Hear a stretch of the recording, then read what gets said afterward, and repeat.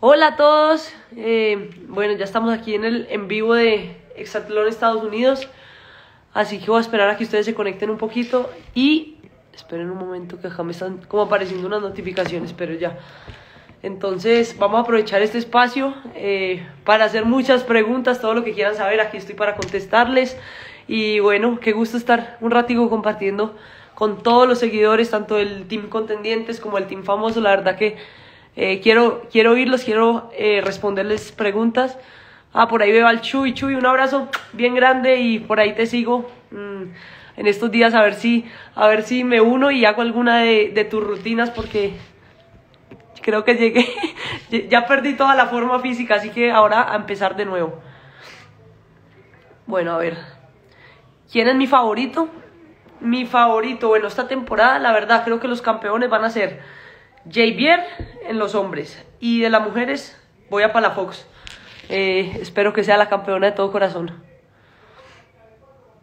Do you speak English? Yes, I do. A ver. César, hola, te mando un abrazo bien grande. A toda la gente que apenas se está metiendo también. Un saludo eh, muy, muy, muy especial. Eh, a ver, vamos a empezar ya a responder preguntas. Nunca pensamos que te ibas tan rápido. a veces así pasa, la verdad. Ahí siempre, siempre he pensado que una eliminación es como, o sea, es como un tiro al aire porque si, si de pronto ese día no se te da la puntería, pues ya está, ahí no hay, no hay mucho más que hacer, eh, por más que tengas medallas, por más que tengas cosas, eh, eso tiene Exatlón, que hay unas punterías que te dan muy bien y hay otras que de pronto no, les agarra el tiro, no, no se te dan. Y la, y la rival o la persona con la que estás compitiendo sí se le da y pues ahí la verdad es que pues eso es lo, lo difícil de, de, una eliminación más que, más que otra cosa pues. Carlita, te mando un abrazo bien grande. Un abrazo de Puerto Rico. Ey, no conozco Puerto Rico. Tengo que ir. Me dijeron que tengo que ir a un sitio que se llama Culebra. No conozco, pero vamos a ver si, si ahora que pase un poquito todo esto del COVID, pues puedo estar por allá. Se conectó. ¿Por qué le pusieron a Aileen Santana? ¿Se conectó? Si se conectó, Aileen, te amo. Ya quiero conocer a Baby Tarzan. A ver. Bueno, voy a empezar a responder distintas preguntas. Eh, eh, eh, Les cuento que hoy me levanté ya en mi casa, aquí, aquí en Colombia. Yo vivo en Bogotá en este momento y me, me levanté acá y me sentía súper rara. O sea, como que me levanté a medianoche y yo como que, ay, ¿dónde estoy?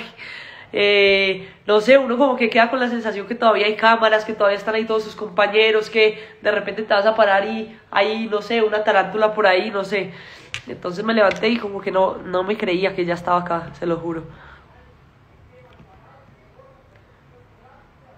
¿De qué parte de Colombia soy? Nací en una ciudad que se llama Cali, pero ahora vivo en Bogotá. ¿Qué es lo más difícil de la convivencia en la cabaña? Bueno, lo más difícil de la convivencia en la, en cabaña yo creo que es que en ningún momento puedes tener como privacidad o como un espacio para ti. Yo soy una persona que estoy acostumbrada a estar sola, eh, porque desde los 13, 14 años pues vivo sola y no es nada fácil todo el tiempo estar, empezamos siendo dos este, esta temporada, no es nada fácil estar 12 personas ahí mismo en una misma casita, durmiendo todos los días, la cabaña es muy cómoda, ya simplemente era, era complicado porque si yo me quería ir a dormir, no sé, a las 9 de la noche, y mis compañeros se quedaban hasta mucho más tarde, eh, pues era muy difícil, era muy difícil por el ruido, por todo. Al final recuerden que somos 12 atletas que llegamos ahí a cada equipo y cada uno tiene diferentes costumbres, diferentes formas de vivir, eh, diferentes rutinas. Y creo que lo que hace un equipo verdaderamente especial es cuando todos aprenden a conocer al otro, a respetar al otro y, y pues como a acompañarse y, y a trabajar en equipo.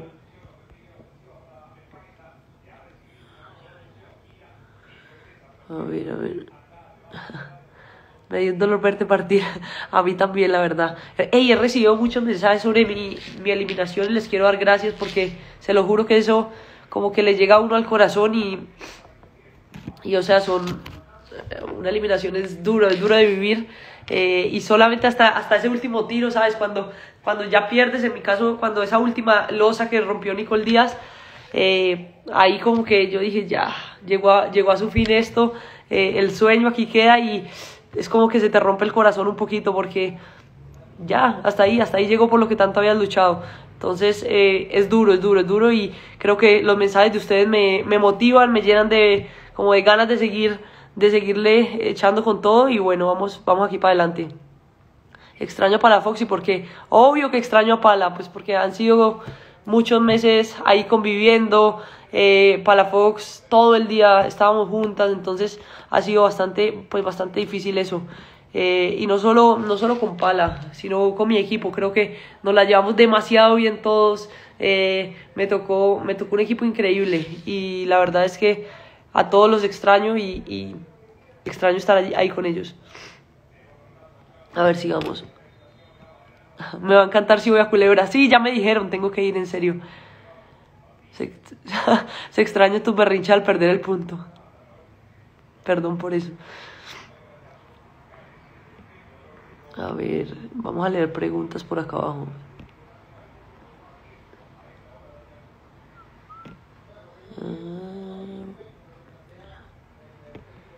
Hey, gracias por los lindos mensajes. Ok, which guy did you most get along with? Eh, ¿con, ¿Con qué chico me la llevé mejor?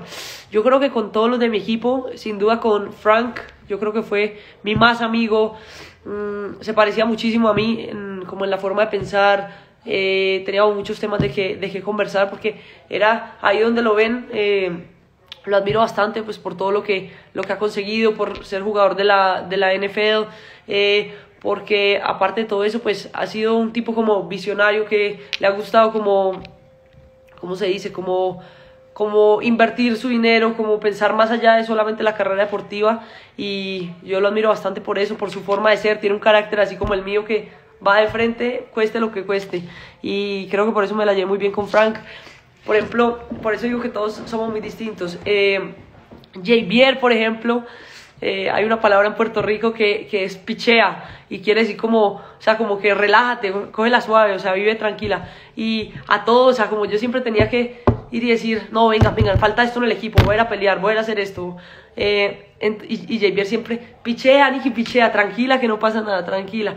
Y, y creo que de él aprendí eso, ¿no? Que hablaba mucho con él, yo le decía, en verdad tenés todo para ser el campeón, tenés algo que no tenemos los demás, que es tu forma de vivir la vida, como que nada nunca le preocupa, nada, nada, le estresa, eh, así como lo ven, así es, literalmente, entonces creo que eso es un punto muy a favor de él, eh, porque ahí es complicado, como llega un punto que ya el colapso mental es tan grande, ya estás tan cargado mentalmente que eh, hay un problema, hay otro problema, pasan un millón, un millón ochocientas mil cosas que uno no puede controlar, ¿me entienden? Y uno intenta, intenta, intenta, va, pelea con uno, pelea con otro, eh, con, uno de, pues como de las personas que, hay que hablar y, y, al final esas cosas no pasan y entonces yo le decía a Javier, eso te va a ayudar a vos mucho porque nunca te desgastas con nada innecesario, mientras que los demás todos nos desgastamos.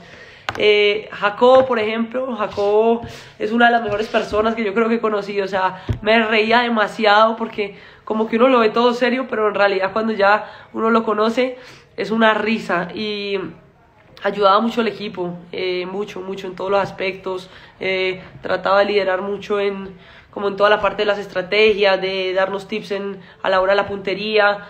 Mm, entonces a Jacob yo lo quiero demasiado, igual que a Aileen pues y a, y a Baby Tarzan, que de verdad me muero por, por esa familia y por ese niño, pues como que todos lo vivimos ahí adentro, como que ya, ¿cuándo nace Jacob? ¿Cuándo nace? ¿Cuándo nace? O sea, todos los días le preguntábamos a Jacob que cuándo, cuándo nacía su bebé, porque literalmente eso ahí se vuelve, se vuelve como una familia.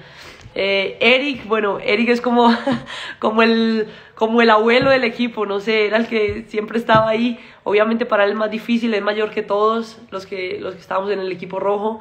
A veces se desesperaba mucho, eh, pero, pero es un gran tipo al que quiero muchísimo, muchísimo a Eric y, y me la llevé también muy bien con él.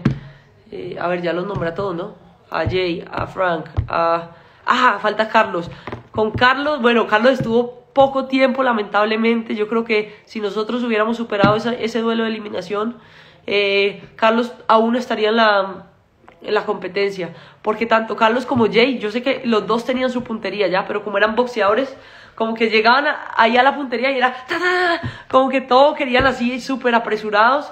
Y de hecho, pues si ustedes se dan cuenta, Javier al comienzo, lo he hablado mucho con él, al comienzo llegó y era un desastre, o sea, eh, llegaba a la puntería y fallaba mucho porque quería hacerlo demasiado rápido, como si estuviera peleando, no sé, en el ring de boxeo. Y solamente cuando él tuvo ese corte en la mano que le tocó parar no sé cuántos días y no podía competir, fue realmente donde él empezó a mejorar, porque empezó como a ver a todos los los participantes, tanto del equipo rojo como del equipo azul, eh, miraba cómo era que todo el mundo llegaba a la puntería y uno pues como que tenía que cambiar de ritmo y, y, tranquilizarse un poco para, para, poder apuntar bien. Y creo que cuando Jay entendió eso, pues fue el mejor. Y, y Carlos siento lo mismo, que si hubiera podido estar una dos semanas más, eh, le, hubiera, le hubiera agarrado como el, el, el tiro al tema y, y, hubiera sido buenísimo, porque era, era igual muy rápido, eh, era muy, tenía mucha puntería, pero era como que se desesperaba muy rápido en la puntería. Creo que ahí ya respondí todo lo de los chicos.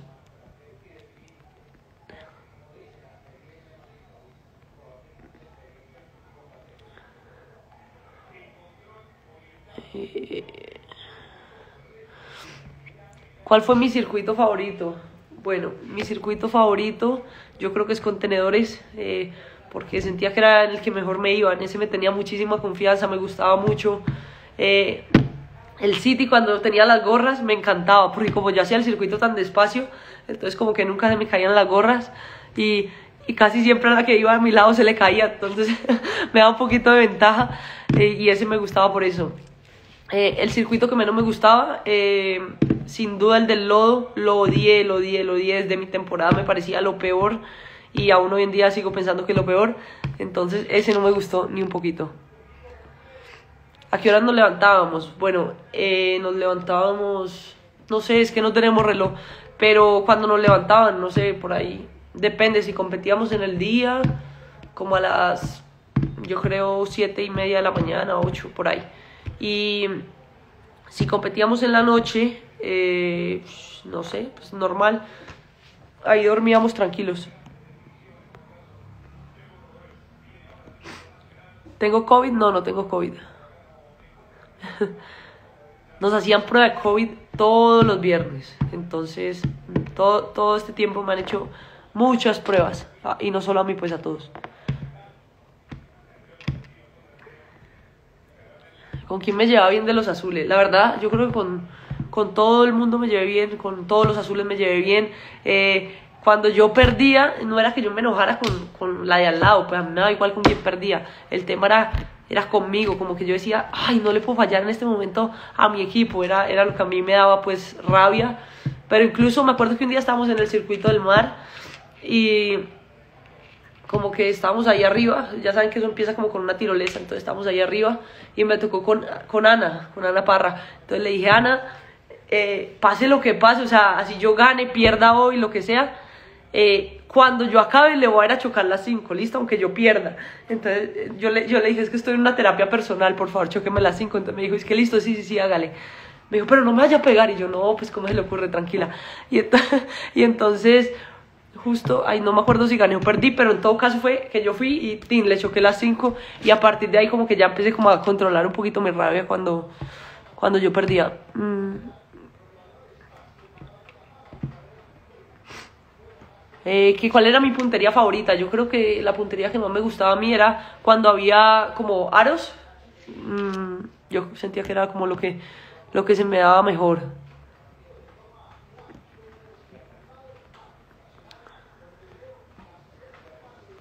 Ay, yo también los quiero mucho, gracias por esas palabras.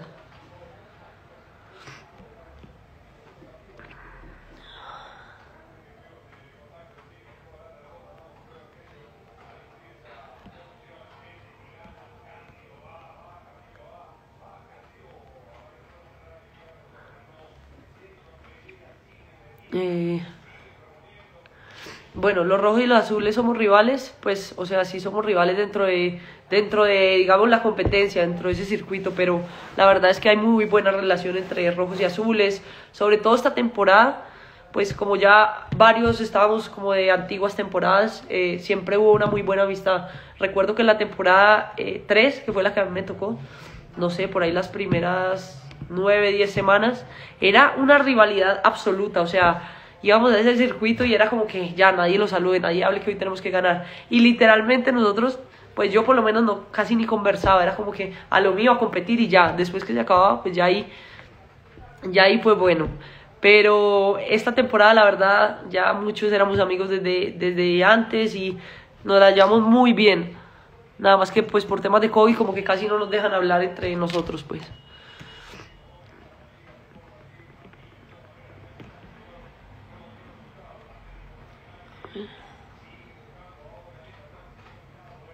A ver, a ver.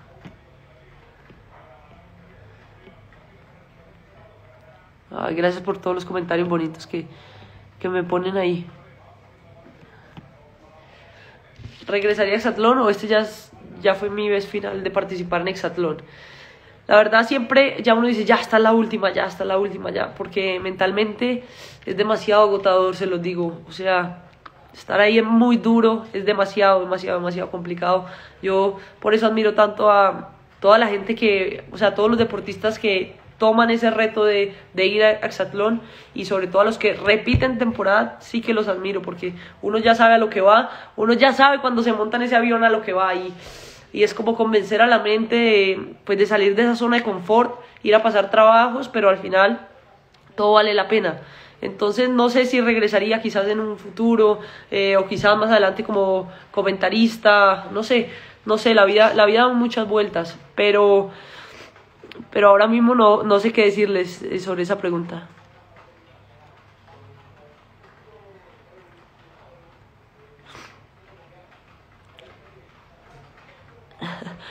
Cuando perdía sí me enojaba mucho, demasiado, demasiado, porque no me gustaba fallarle a mi equipo, la verdad. Y como que a veces perdía por errores demasiado tontos que sabía que pues realmente que podía ganar ese día o algo así, darle ese punto a mi equipo y por un error eh, pues simplemente perdía el punto y, y eso me hacía molestarme, la verdad, pero eso como lo dije en mi, en mi eliminación, ese no es el ejemplo para nadie, nadie debería enojarse así porque al final la vida es eso, ¿no? Como ganas también pierdes y y es mantener la calma. Hay, hay una frase de, de, un técnico de fútbol que se llama Marcelo Bielsa que dice que, o sea, que como que no nos dejemos llevar por el, como por el éxito de ganar o no nos sintamos los mejores cuando ganamos y no, no nos sintamos tampoco los peores cuando perdemos. Y yo creo que eso tiene que ser así, pero aún estoy haciendo mucho trabajo para eso, para que no me dé tan duro perder, soy muy competitiva y pues bueno, es, es un trabajo pues que ahí vamos.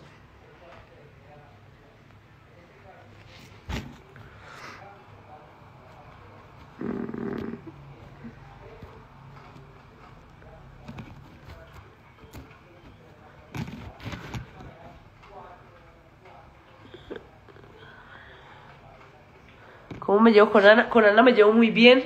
Al comienzo era muerte con Ana, era muerte, era muerte, era muerte, era muerte.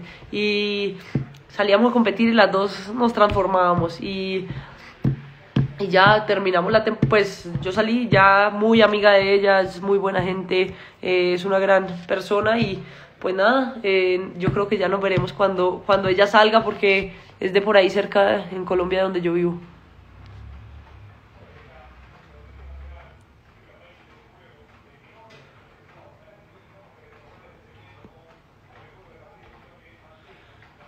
Pichea, Nicole, pichea. sí, así me decían todo el día. A ver.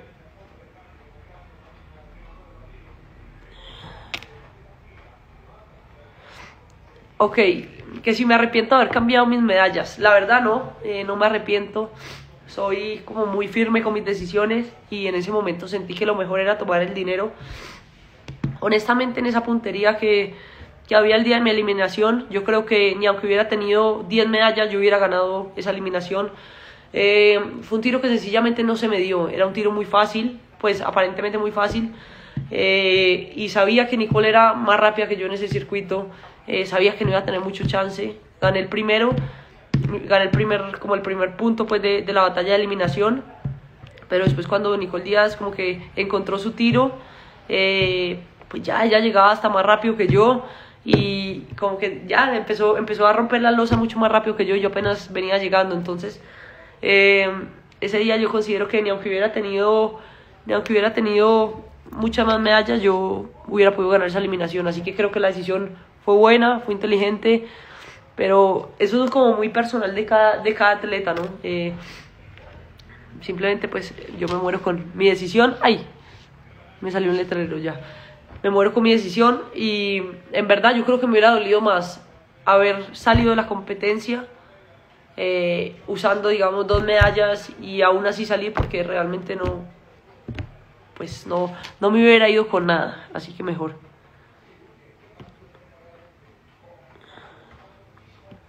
A ver.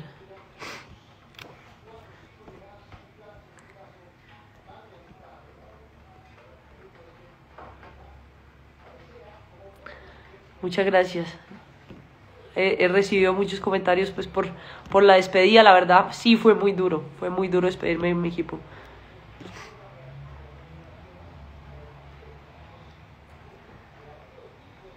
A ver.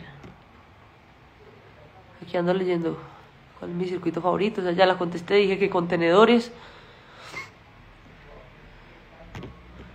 ¿Cuál fue mejor para ti, temporada 3 o temporada 5? La verdad creo que la temporada 3 eh, el nivel fue más bajo que la temporada 5. En la temporada 5, desde el primer momento, los atletas fueron muy buenos, tanto los, los que estábamos repitiendo temporada como los, los nuevos que llegaban. Fue un casting muy bueno, honestamente, donde el nivel está demasiado alto, demasiado parejo y, y pues nada, yo creo que fue mejor la quinta temporada.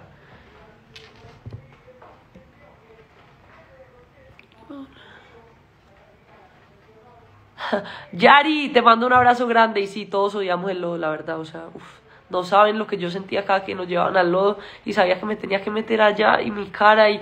Eh, no, no podía con ese circuito, de verdad. Eh, a ver...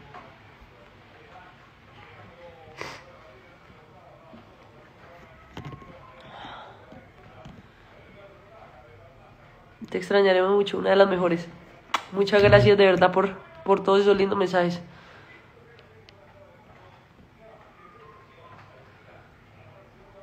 Eh,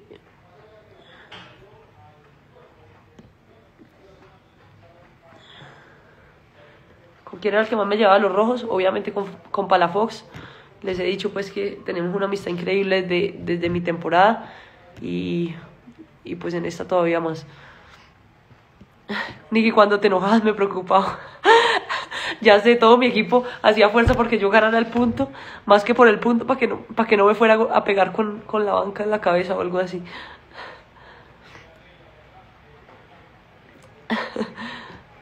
a ver.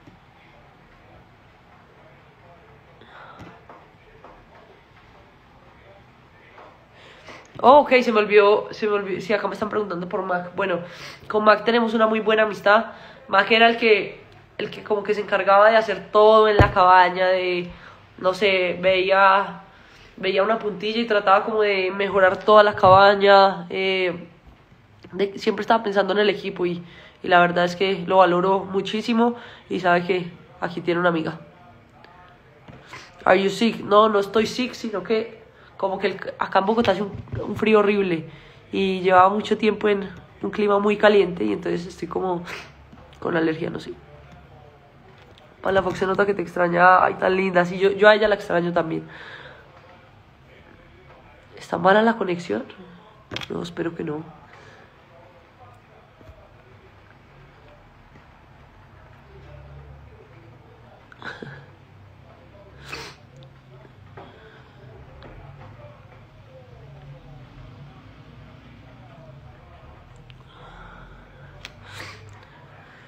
Ah. A ver. Es que no veo tantas preguntas. A ver,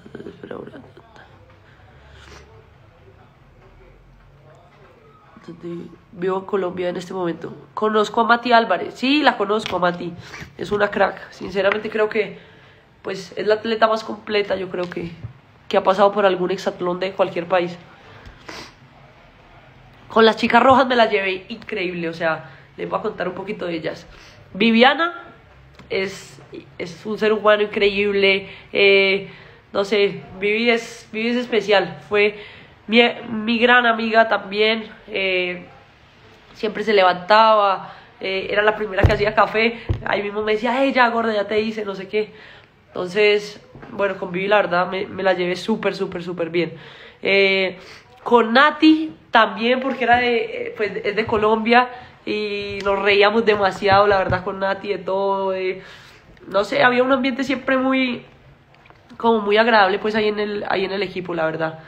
Con Ani, Ani salió muy rápido la competencia, entonces fue poco lo que como pudimos compartir, pero, pero sin duda que es una, es una chica increíble. Eh, con Brenda también me la llevé demasiado bien. Los días antes de empezar a grabar, que ya estábamos en República Dominicana, pasábamos cantando, ellas se pasaban enseñándome canciones de banda. Eh, me la llevé demasiado bien y la verdad eh, me dolió mucho que Brenda se fuera tan rápido porque yo creo que tenía mucho que dar, mucho que dar. una mujer súper fuerte, no solo físicamente, sino en todos los aspectos. Y pues nada, me dio pesar que se fuera tan rápido. Eh, ¿Quién más está? Nati, Vivi, Ani, Brenda y Pala. Ok, y con Pala pues ya saben que tengo una amistad increíble.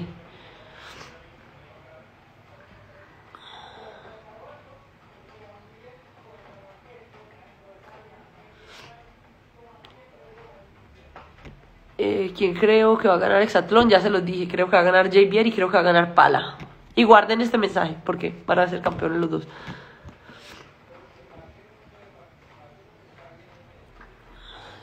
Bueno, ok, acá me preguntan por la presión que uno siente. Pues la verdad la presión que uno siente es mucha. Cuando uno está ahí a punto de salir a, competir, que uno está esperando como que Frederick dé la orden de salida.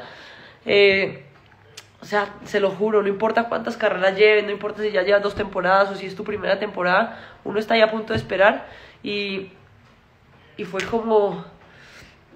Y es como, no sé, como que toda la adrenalina está ahí, toda la presión la tienes tú, eh, sobre todo cuando, por ejemplo, te toca cerrar un partido que ya es el punto número 10, cuando estás en un, digamos, en un duelo de permanencia, también se siente muchísima presión porque tú no quieres que, tú no quieres perder para que nadie de tu equipo se vaya, entonces eh, es demasiada la presión, estás ahí como que temblando antes de salir, pero también e-, esa adrenalina es lo que te va haciendo ¿cómo se dice? Como que te va volviendo adicto a competir y a querer ganar y a querer ganar más y más y más. Entonces eso también es, es especial, pero sí se siente mucha presión ahí adentro.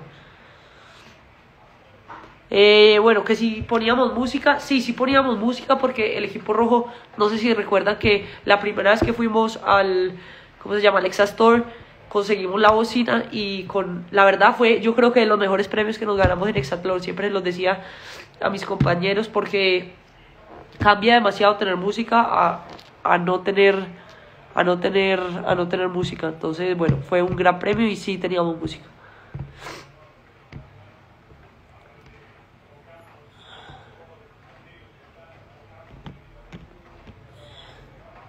¿A quiénes ves en la final femenina? Bueno, la final femenina, honestamente creo que van a ser Bibi y Palafox.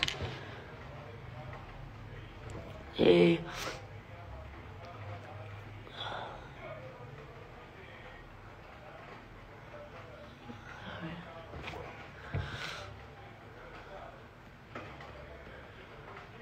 Ya ahí les conté cómo son las chicas, es que estoy como atrasada en el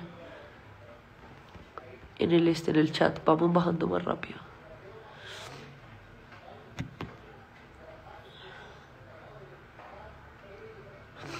¿Tú crees que el reemplazo de Mac va a llegar lejos? Zapel, Zapel tiene muy buena puntería, la verdad. Puede que llegue lejos, la verdad. No sé. Ustedes vieron cómo él practicaba eh, cuando estábamos en la cabaña o en la fortaleza cogía esa empanada y ¡pah! tiraba durísimo, o sea, tanto que hasta la rompía, porque como él era eh, jugador de béisbol, como que tiene mucha fuerza, pues, demasiada. Ay, tengo alergia, perdón.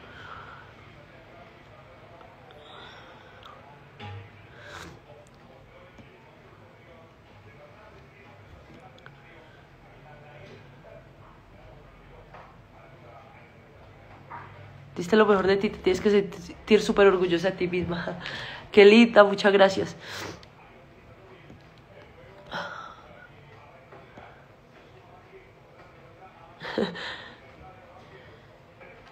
que si Kelvin es mi novio, no, Kelvin no es mi novio, por Dios, no. Es mi amigo desde la tercera temporada. No, no, no.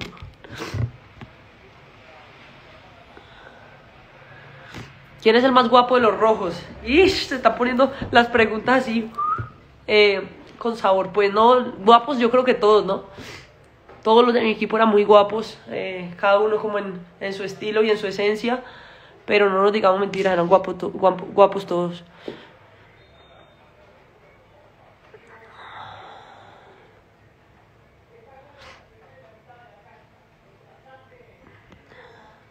¡Oh! Se conectó Frank the Tank. Gordis, te quiero.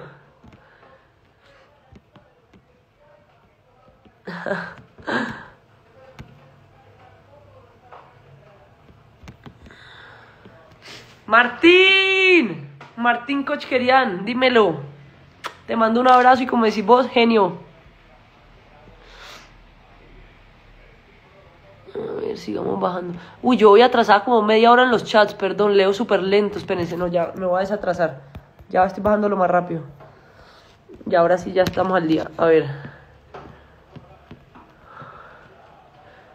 ¿El venado hizo falta esta temporada? Obvio que hizo falta el venado. El venado era mi gran amigo en la temporada 3 y me hizo mucha, pero mucha, mucha falta. Sobre todo así en esos momentos como ya de ¿qué les digo yo? Como de colapso que uno, ah, uno como que se sentaba en la cabaña y uno decía, el tiempo aquí no avanza, Dios mío, o sea, es como que, como, no sé, o sea, nunca se hace de noche, eran eternos algunos días. Y en esos días que yo estaba bloqueada mentalmente, siempre Venado era como que ya, Gordi, ya, tranquila, tranquila, échale ganas, tranquila, tranquila. Y Venado me ayudó mucho a mí en la temporada, en la temporada 3. Frank dice, Niki, te veo en Medellín. Ay, ay, ay. Nos vemos pronto, mi Gordis. Sí, eres lenta. Yo sé que soy lenta y que tiene, tranquilos. No peleen con eso. Yo hacía lo mejor que yo podía, de verdad, verdad. No crean que yo iba lenta como que, ah, no, pues voy a hacerlo lento. No, yo me, me tiraba lo que yo podía. Y obviamente había unas competencias que me, motiva, me, me, motivaban más con otras. O por ejemplo, yo decía, ok, con esta yo no pierdo, con esta no pierdo por nada del mundo. Y como que le metía un poco más, pero en serio, no crean que yo iba lento a posta. Eh, antes, antes estuve un poquito más rápida que mi temporada. Martín, ojalá, ojalá sí, ojalá y nos veamos pronto.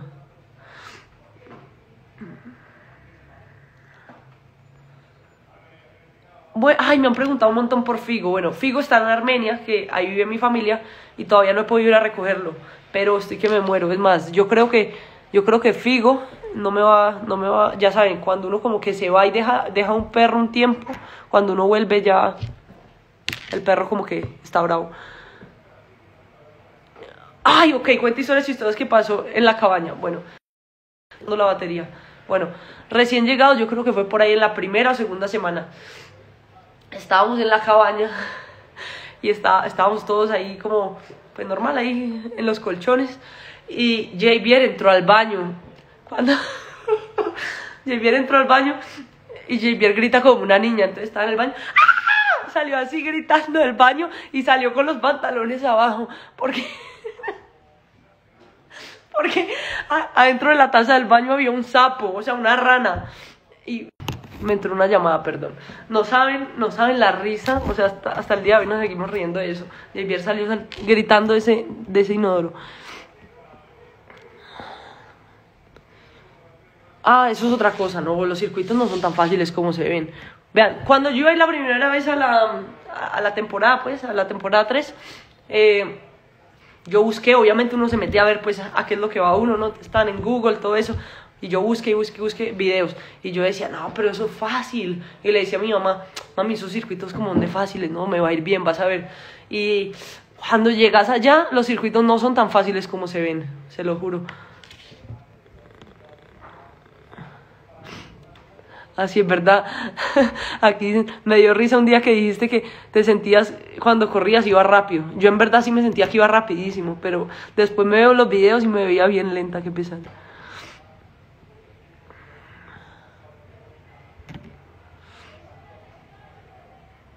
Sí, ya sé, no puedo hablar de porque tengo alergia, pero bueno, no importa.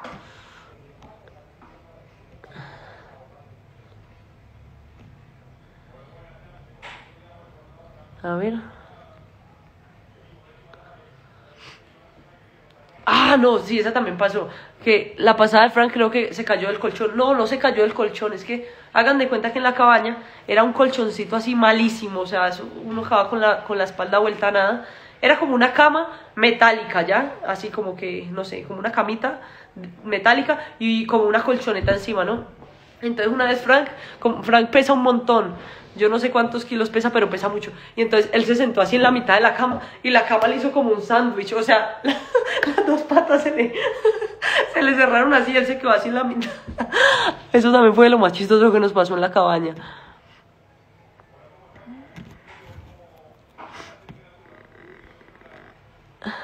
Frank se está riendo porque sabe que es verdad. Frank, ¿qué más nos pasó en la cabaña así chistoso? Ah, ok, no, tengo otra que contarles que es muy buena.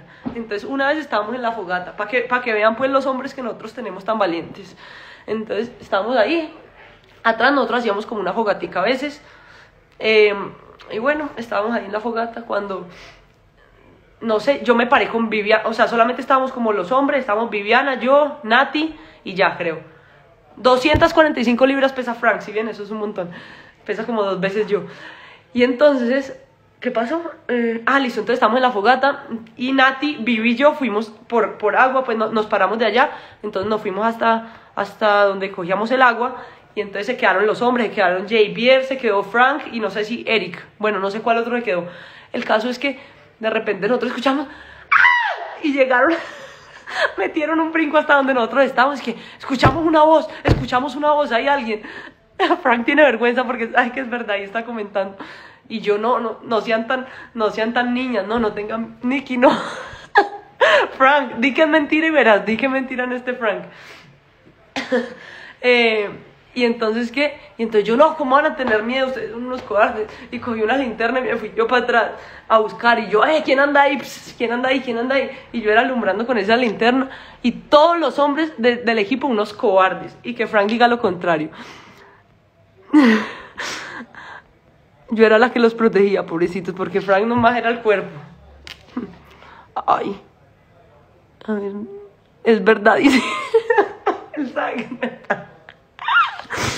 ya no recuerdo más de historia, la verdad. La... Ok, en la, en la cabaña, la verdad. Hay otras que no se pueden contar, son más, más de ahí. A ver. Pensé que era un chupacabra y se Yo fui no vi nada, se lo juro. Ok, pasaban muchas cosas también que, por ejemplo, yo nunca he visto películas de miedo ni tampoco me gusta escuchar historias de miedo, pues porque como que yo siento que eso le contamina a uno el cerebro, entonces prefiero vivir mi vida sin miedo, ¿cierto? Entonces odio las películas de miedo, odio las historias de miedo.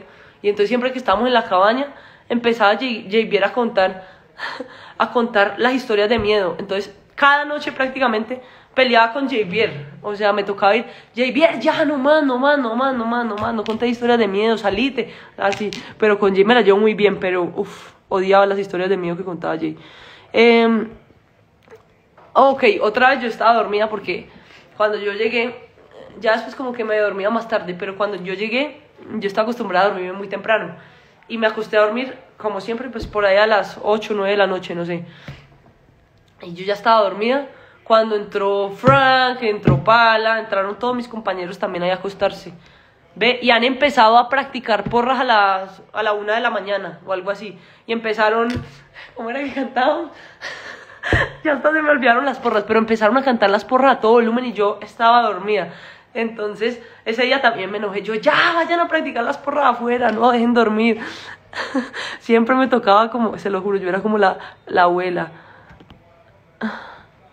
Espérense a ver yo.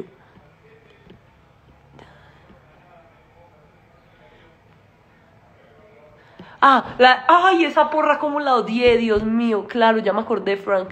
Yo estaba dormida y, y todos ahí acostados empezaban, ¡Somos poderosos! Bueno, esa. Un grupo invencible que se llama Los Famosos. Bueno, esa porra, no saben, oh, me parecía lo peor. Sobre todo porque nunca coordinábamos bien la porra. Entonces, siempre salía mal y la empezaron a cantar y yo estaba dormida, tenía mucha rabia. ¿Te gusta Frank? Hacen bonita pareja. No, Frank es como mi, mi hermanito, la verdad.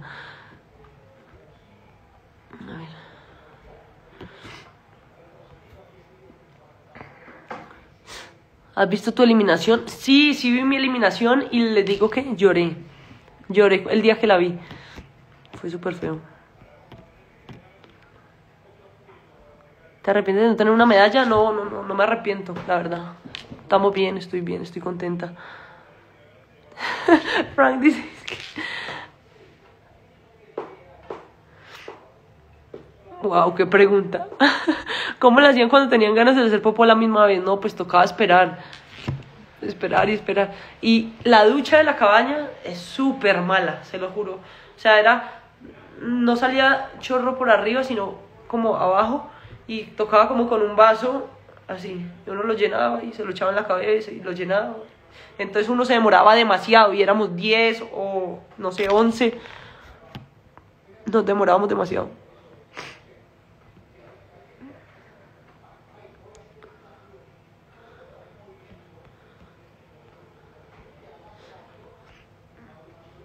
Mi mejor momento en Hexatlón. Eh, uy, no sé, muchos. Eh, no sé, no sé la verdad. Pero sí tuve muchos buenos momentos ahí en Hexatlón.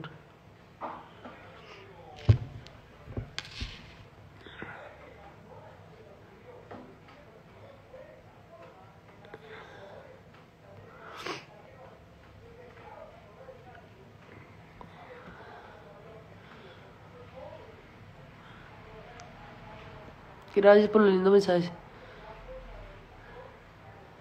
Los hombres y las mujeres duermen en diferentes dormitorios todos juntos. Eh, depende. No sé, pues por ejemplo en la, en la cabaña, eh, todos juntos porque es como, hagan de cuenta un solo espacio y ya, cada quien duerme en su colchón. Pero esos colchones son súper, súper, súper incómodos. Mm. Ah, bueno, eso, eso también es chistoso. ¿Cuántas punterías perfectas hice? Les voy a contar. Hice una sola puntería perfecta en, una vez en contenedores cuando todavía no existía la regla eh, de puntería perfecta 500 dólares. Y esa puntería era súper difícil porque eran aros, empanada y pelota. Y, y pues hice la puntería perfecta y entonces a partir de ahí como que se emocionaron y dijeron, listo, ya, a partir de ahora puntería perfecta 500 dólares. Y yo, bueno, vamos, vamos. Y nunca volví a hacer puntería perfecta, qué vergüenza. Pero sí, solamente hice una y fue esa vez, la que puso la regla. Ya va a empezar Hexatlón. Ok, no, entonces ya, ya vamos a ir acabando esto. Eh, a ver, hagan últimas dos preguntas que nos vamos porque ya va a empezar Hexatlón y no me lo puedo perder. Hoy, hoy va a estar buenísimo.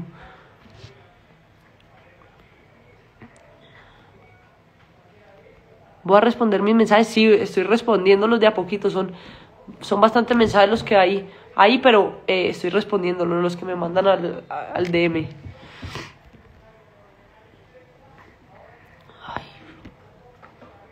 Eh, ¿Cómo practicamos los festejos cuando ganábamos? Bueno, ahí que está Frank conectado, la verdad creo que fue un, una idea de él y no sé si de Jay. Eh, como empezar a hacer celebraciones que se vieran chéveres y un día en el lodo fue la primera vez como que empezamos a hacer ese tipo de como de celebraciones y creo que a la gente le, gustó bastante. Hey, flaquita, yo también te recuerdo mucho. Vean, una compañera mía de cuando empecé a jugar fútbol. Un abrazote. Del equipo azul, ¿quién, cree, quién creo que llegue a la final? Yo creo que puede llegar Kelvin. Eh, como en los hombres, puede ser que la final sea Javier contra Kelvin. Y en las mujeres, la verdad, creo que la, la final va a ser Viviana contra Palafox. A ver.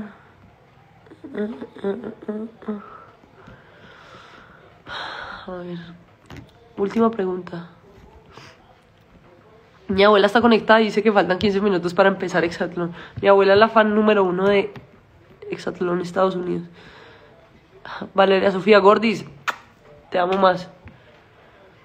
Peleé con algún compañero en hexatlón. Bueno, no pelear así como algo feo, ¿no? Pero sí, todos los días había que, o bueno, no todos los días, de vez en cuando había que poner orden.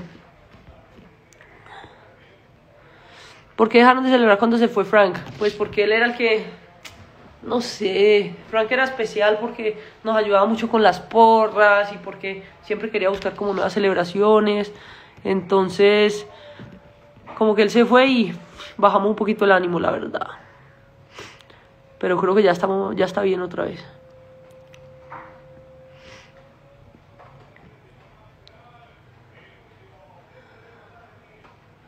Voy a ver Exatlón todos los días, pero por supuesto, yo no me lo pierdo. La verdad, no me pierdo Exatlón. Y ahora vamos a seguir haciendo la misma fuerza por mis compañeros, como si estuviera allá adentro. Ellos saben que, mejor dicho, los apoyo, que me muero por ellos, me muero con ellos y que a muerte, pues nada, los defiendo. Eso literalmente se vuelve una familia. Yo tuve la oportunidad de tener dos grandes familias que fueron la de la temporada 3. Aún hoy en día me comunico, yo creo que con todos los de mi equipo. Y los de la temporada 5, pues ni se diga.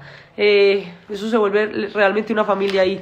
Quedé con muchos hermanos ahí y sé que muy pronto nos vamos a encontrar. Vean, en estos días Frank viene para Medellín, me voy a encontrar con él. Así que espérenlo por acá que los haremos reír con algunas historias. Les vamos a contar algún secreto de Javier. Javier es el personaje más único que ustedes puedan imaginarse. O sea, no hay dos como él en el, en el universo. Está muy loco.